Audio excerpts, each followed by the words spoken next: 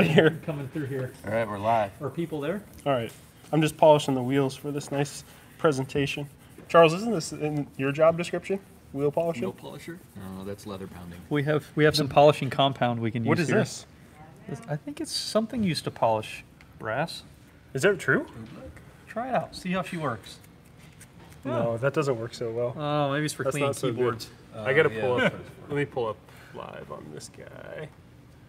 Oh, Better make sure that it's not facing, the label's not facing out, right? Why? oh yeah, talking range. What's going on? Oh yeah. Yeah, product placement is very important. Okay. How many people we got on there? Yeah, let's let a few people join. We're still getting ready too. Hello. 11? Eleven. 14. 100. 1100. 11,000. Oh, that, 111,000. How many, the real question is how many of them are either my parents or Dave's parents? I don't think my parents know how to use. Yeah, zero. Zero.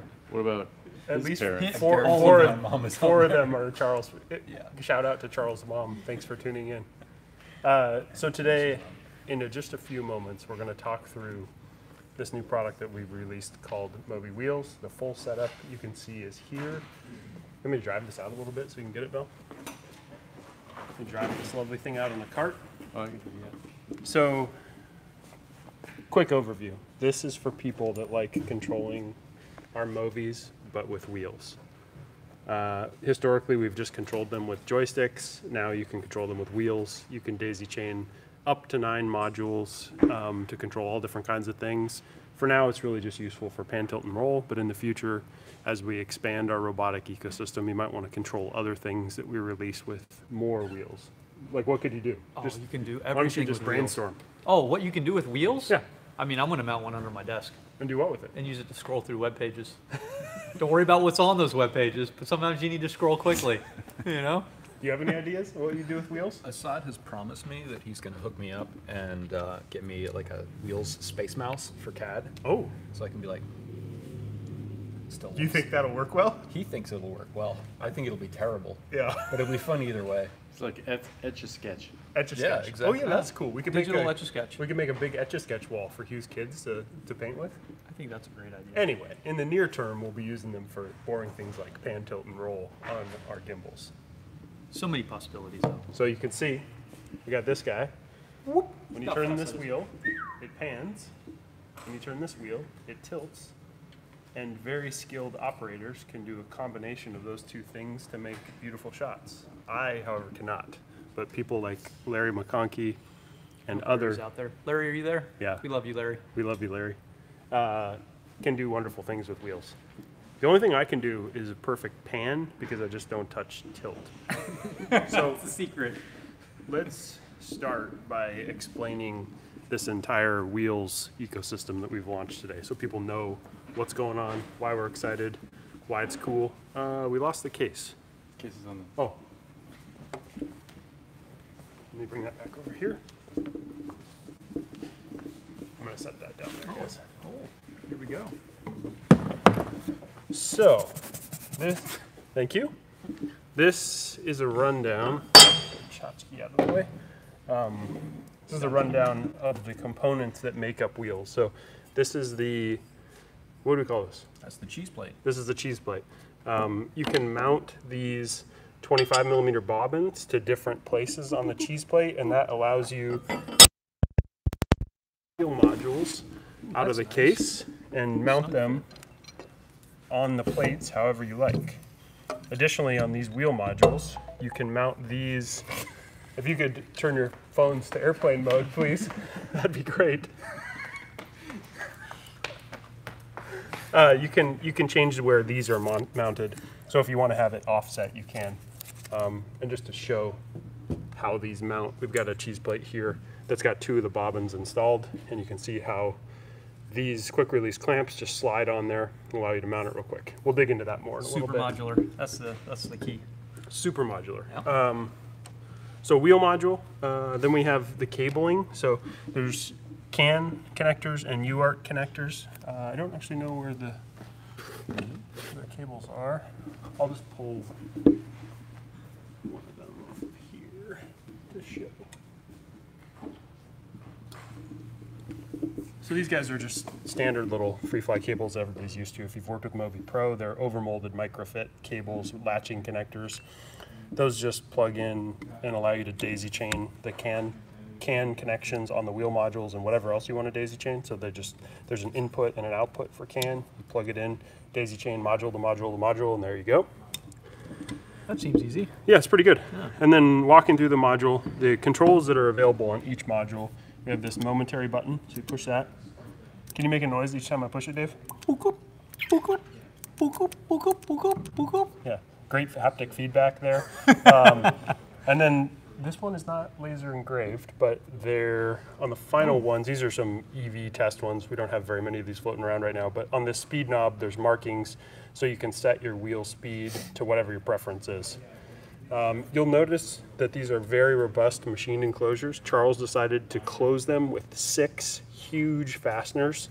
So you could put a crowbar there if you wanted to and try and pry that open. It definitely will not pry open. No, you should use a tool if you want to open it. Any comments on, any other comments on mechanics, Dave? I think it's beautiful. This is a 25 mil uh, quick release where that bobbin goes. That's a nice sound when that yeah, slides in. Slides right in, stainless steel. Look at that. Also, this is cool. You can mount the rosettes that we use on Pilot on the end of these. So you can do things like this. I've got Pilot mounted to this, the Pilot Force joystick and. Iris slider mounted to one of these bobbins. And then you could also mount it using the rosette in different places. So we've tried to think of the mounting interface that allows you to connect as many different things together as possible. Um, so continuing to go through kind of overview of everything. This is the stainless steel that wheel that we offer. Uh, and it's got this captive guy that allows you to attach it to the wheel module, which is nice. It just spins off. You can replace it, repair it. Um, these are very well balanced. We're rejecting any of the ones that aren't perfectly balanced before we ship. So we use those for very heavy frisbees. Um, and then this guy, Discus. this guy is the, the mount that Charles developed that allows you to mount the Movi controller or the Mimic. So you can see on this guy, I've got it set up just as maybe a, you know, this is to show maybe how a DIT would want to use it to control iris only. Or if you were in the, you know, shooting in a camera car and you wanted to hand off just roll control wirelessly, you could connect this wheel module to Mimic and then give, you know, you put the person in the back of the Cayenne and they're, they've got control of roll back here if you're doing a Oh, really yeah. complex shot. I like that idea. Or you could remotely control Wire. Dave's web page scrolling. Mm-hmm. I don't know if that's You'd be trying to work and I'd just be randomly scrolling. that's not a good idea. You don't think so? No, I don't like that one. Okay. Um, and then we include these two drivers. These are the perfect size drivers for for mounting these bobbins and then also unscrewing these screws if you want to change where the mounting configuration, where the mounting attachment goes, And color coded. and color coded. And like a nice, nice like soft touch. See, doesn't make make a terrible noise. Like soft touch rubber. It's very nice. Good. There's also a mounting on the final unit, which I don't have here. There's a quarter 20 mounting point on the bottom as well, so you can bolt it directly to things if you want to. Ooh, you can also put a rosette there, I just realized. Smart. Ooh, what kind of USB connector is that? Oh, USB-C. I forgot about that. USB-C, everybody. USB-C. So it's a nice new style USB. Yeah, I love USB-C. reversible. Yeah, it's reversible, it's high current, it's strong, Mm, robust. robust. What's not to like? I don't know. Um, so I'm gonna plug this cable back in. Let's talk. What should we talk about next? Charles, let's talk about. I think we talked about modularity a little bit. We talked about the op- mounting options. We'll get into that more later when I do a full setup. Um, why don't you talk about designing this thing while I swing this at you? So uh, I think when we started on this project, the thing that was most important to us was um, like user productivity and like even down to like the case. The, the modules stay wired together in the case. So when you get to set, you just pull the whole thing out, throw it on your tripod, and you're ready to go. You don't have to find the cables; they're already there. It's already installed, so you can store it with it fully wired and just go. And it's sort of without any roadblocks. Joshua Papp Yeah. asked if I was drinking a gin and tonic. That's good. No, it's not. Seems appropriate. It's just water with some fruit in it, sadly. Yeah. And I think the other uh, the other thing that you kept pushing me towards when we were designing it was uh, compactness and getting everything as close together as possible. And I think we've achieved that with like you can put these bobbins really really close together and get your, your setup. You know, the 45 degree cut on the side of the module lets you get two modules like smack dab right next to each other. Yeah. So if you're in a cramp, like you're in the back of the car and you're trying to, you know, do the shot Or rickshaw. or a rickshaw even. Mm-hmm. Yeah, you could do that. Or if you're at a set and you can spread out like the setup over here and kind of, you know, fully take up the room that you need to. Really lay out. Yeah, just kind of just get cash and, you know, you can have your gin and tonic. And, yeah, I- Really ideal. I think the other thing we try to think out, think about throughout this project is what would Larry McConkey want to do with the setup that we haven't accommodated for, that he won't have to fire up the machine, the milling machine, and custom make some adapter. So I think with the combination of things that Charles has made, you can create just about anything you can dream of. I know Larry will invalidate that statement somehow and have some crazy requirement that In three, two, one. yeah, go. Larry. Uh, but yeah, Segway mount. So I think, um, you know, kind of talking about the, some of these things are not enabled yet in software. Like we don't have integration for this force joystick and iris module yet, but it will come in the future. The thing that I'm excited about is just the ability to configure quickly these different kinds of setups based upon, you know, whatever use case you have. Like maybe Hugh and I are out shooting and he just wants to have really smooth control of roll on this wheel, but he wants to control the Movi pan and tilt with the really nice force joystick. It's super awesome to just be able to um, set this thing up quickly and have it do the things that you think it could do. Um, just you know the ability to mount all these things quickly on these quick release bobbins and you know you can adjust if say you want a little bit you know say you're standing a little bit sideways you want to angle your handle um, you know everything's just super quick to adjust remove troubleshoot put back on figure out whatever whatever configuration you like maybe you like it like that maybe you like it over here roll it around I look forward to what people do with these. yeah There's gonna be some creative stuff happening. I think as long as we keep building out the software such that it's easy to pick the module and then tell somebody what you want it to do, uh, people will continue to do really awesome stuff with it. Oh yeah. Any other thoughts on design process? I, I had some other questions for you. Um, what were some of the constraints that we were dealing with? So when we first started it, we, we wanted a lot of inertia, and uh, we tried to build all that in by uh, making it really complex on the inside and having a flywheel and belts. And in the end, it turned out that simple is best, and we got the inertia just by having a really, really solid, good feeling hand wheel that functions correctly and you know has really good run out and has a good feeling handle and it's easy to put on and remove and just you know does the job the way that people want it to without having a whole bunch of other miscellaneous stuff that ruins the day and you know complicates everything. Simple is best. absolutely. Mm-hmm. And i mean we i think in the original spec we had all sorts of other buttons and functions and things and we winnowed it down and now we have the speed knob and we have a pause and we have an LED that tells you what's going on and it's as simple as that. You know, there's things you can do on Movi controller and Mimic to, you know, dial in your experience and get it to be just right. But as far as the wheels go and, and the cheese plate, everything's just exactly the right level of complexity. Yeah, more. Drone Dudes asked if you need a Movi controller to connect to the wheels to the gimbal. Uh, as of launch, you do need a Movi controller, but we'll be releasing firmware updates that allow you to connect direct to Mimic soon. So you'll be able to use the Mimic as the hub if you want to instead of Movi controllers. Um, what was the most difficult part to get right on wheels, like on the design side? Um, I, initially, it was the, the concepts for, for mounting, like getting to this, uh, what appears to be at first glance fairly simple and obvious solution took a little while. I mean, we tried all sorts of different things and tubes and other clamps and things, and eventually this solution, I think it happened in five minutes, and we were just like, oh, done. Yeah. You know, simple as best, yet again. And we'll also spend a lot of time getting the friction lock working properly, so. Yeah, Uh, absolutely. Let me pull one of these wheels off. Just to show what the final configuration looks like.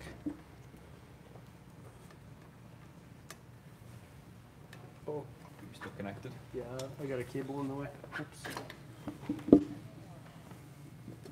So this is what the final thing looks like. Uh, there's this change here where we've got this friction lock where if you lock that all the way, the wheel no longer moves. And then as you back it off, you can apply a varying degree of friction to the wheel, which is nice for some instances. Like, you know, in the example I gave a second ago, where the DIT might want to adjust this, but have it stay really, really precisely where he lets go. Or if you're in, in the back of a car and you're doing a roll and you want really smooth control of it, but you want to have a little bit of friction, um, you know, the ability to kind of turn the friction on and off and then choose different points in between is helpful. And then what I spoke about earlier, just it's laser engraved, so you can remember the speed setting that works well for your application, and then that's the pause button. So we'll plug this guy back in.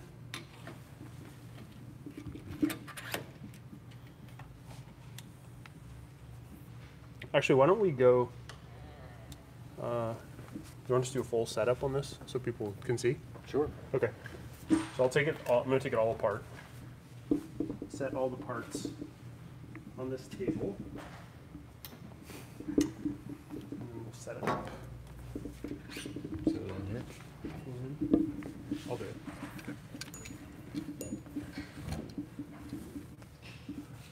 Just want to keep it in the right order.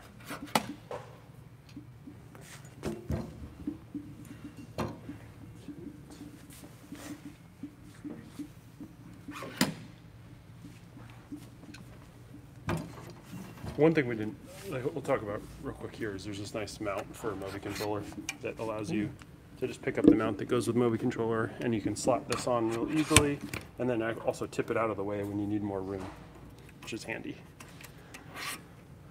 So, let's say you're getting to set and you have some type of Mitchell mount to use. We've got uh, our Mitchell adapter here that goes right to Hugh's custom Steadicam cart. We just bolted the cheese plate that comes with Movi wheels down. Um, then we'll need to just attach the three wheels. So that's as simple as dropping them on the post, hitting that quick release clamp. What is this hole for in the cheese plate? Ooh, that's a handle. Look at, oh, a handle. Yeah, that's so you That can carry seems- it. That seems nice. Yeah. Look at Oh, Charles. Charles gonna demo that for us. You gotta wait for wait for Hugh. Charlie, that- There it is. Yeah, nice. Price is right. Price is right. No. Oh. nice is right. So yeah, so drop three wheel modules in, uh, and then you can. I sometimes daisy chain them wi- without in the Movi controller installed, just so I can see the connectors a little bit better. So I'm doing all I'm doing is can from wheel three to wheel two, and then. Did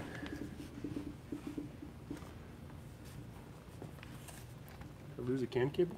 Yeah, you borrowed this one earlier. Oh yeah, yeah, yeah, yeah. There we go. So then we got to do can from cable two or wheel two to wheel one, and these are labeled on the back of the wheels, and it, can only go in one size connector. It can go in either one. And it can't go in the one I was trying to put it in. There we go. So we're wired up there. So then we drop the Movi controller on.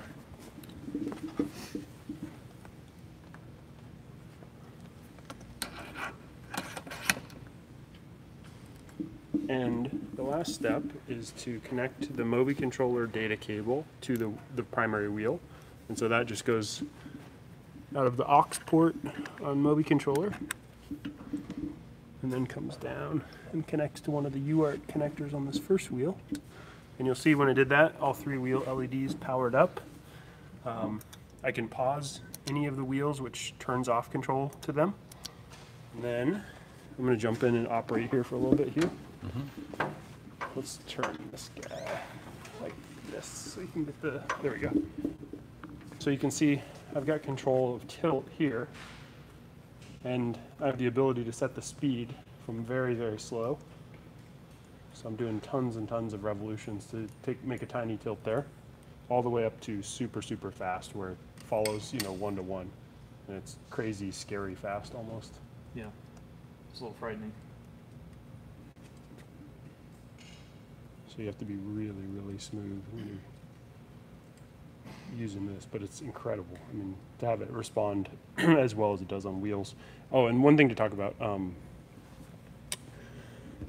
when you get your wheels, when we ship it, you'll have a new firmware update for Movi controller.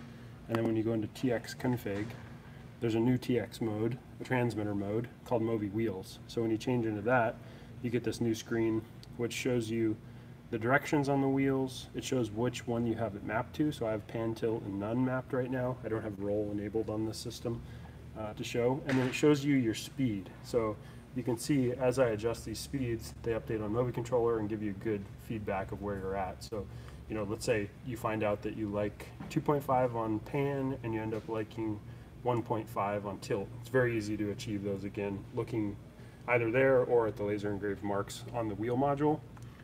And then all the other normal TX config items are available there. And I think the thing that I'd highlight on this is just how direct, how low the latency is, and how fast it responds to movements. And the nice thing is you can remove all the smoothing from the Movi parameters because you have a little bit of mechanical smoothing from the inertia in the wheels. So it allows you to run really, really high hold strengths, really, really low smoothing, really, really low window, and you get just a, you know, crazy connected feel. Where if you're good with these things, you can really work magic, which I'm not so good. You, are you good? You want to try? I don't know, you know? He spent a lot of time on a machine tool. I have, CNC. yeah. Ooh, that's a good shot, Dave. Well, look at ourselves, eh? Yeah, it really Question? does feel great. Joysticks can kind of be like aggravating sometimes because you can't hit that same spot every time, but with this, it's much easier because you have so much more travel. All right, we got a few more questions coming in. Or mimic it like friction lock. Heart. What's the power source? Uh, so the power source comes from the Movi controller aux cable. So the Movi controller is piping power to the wheels through this IDX plate. Or if you connected to via USB-C or Mimic, it would pipe power through that. Uh, nice quick release option there. Looks like the nums nubs have multiple points of contact, so it shouldn't spin loose. Yeah, the the bobbins have or the the 25 millimeter posts. They mount with two. What are those? They're quarter M5 20, Quarter 20. Are they? quarter 20, 15 millimeters apart. There you go. Quarter 20. 15, 50 millimeters also- apart. 15? 15, Yeah. and then the center is also quarter 20. So if you have a tripod, you can mount it right in the center. Yeah. So you, if you use our our quick or our cheese plate, you can pick up those two bolt holes so they won't spin on you when you don't want to. Uh, USB-C. Yeah, USB-C to any modules. Uh, I think that's it for questions. What else do we want to talk about?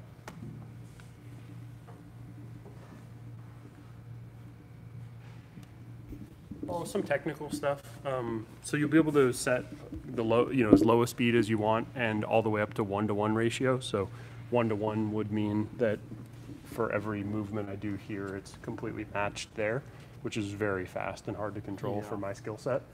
Uh, technical details on the wheel modules themselves, they're pretty simple. They've got big bearings, balanced steel wheels. We've got a, mag- a high resolution magnetic encoder inside of there, so it's robust. You don't have to worry about optical systems getting, you know, There's not a whole lot to bounced go around wrong. and Yeah. damaged. There's not a lot to go wrong. Um, another question? Would you demonstrate the minimum latency, please? Sure. Uh, it's kind of tough to do on this, but I think the easiest way is if if you try and look from the movement on my hand to the movement on that gimbal.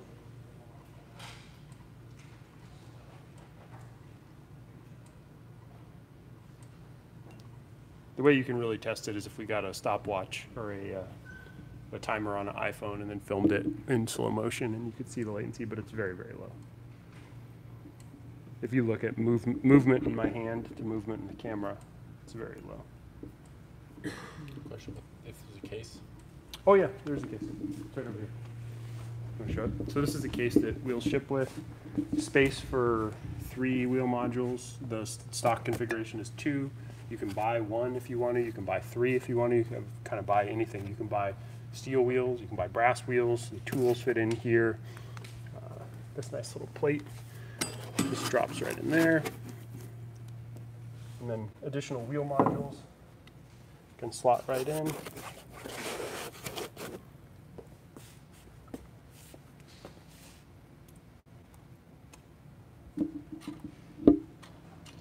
Then there's a space for cables, accessories, whatever you want there. Anything else you want to touch on on the case? The case has room for you to be able to leave everything wired together in the standard configuration. And there's even room here for you to get your hand in underneath, right in the center of gravity, so you just yank on it and the whole thing comes out. Yeah, the way you on here. the way that we shipped the two-axis configuration there, these bobbins are mounted right there to the plate, so you can leave it set up as is and just pull it right out of the case and it's ready to go. Just mount it to your tripod or quick release or whatever you're going to use. Um,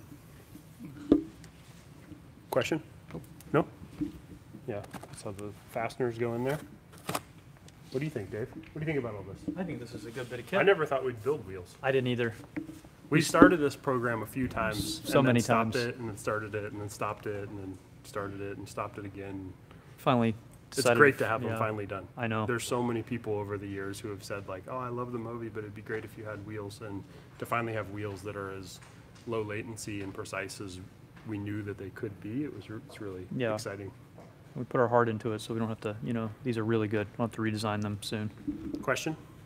weight the wheel part.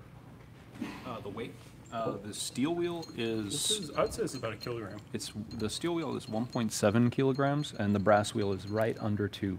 I'd say it's about a ton, metric A ton. metric ton? Yeah, Yeah, yeah, they're heavy. plus or minus a metric ton, that's dead on. It's a lot of